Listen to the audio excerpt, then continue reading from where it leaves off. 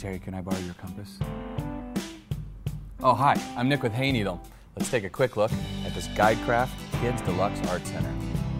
Whether you're bringing up the next Picasso or raising a future Rembrandt, your budding artist needs a proper setting to let their artistic genius thrive.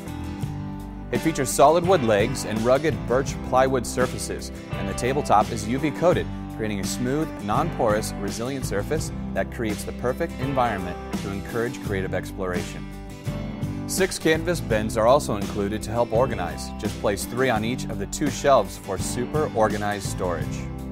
The top shelf features compartmentalized storage for various supplies, and the tabletop features slots ideal for paints, glitter tubes, glue sticks, and more.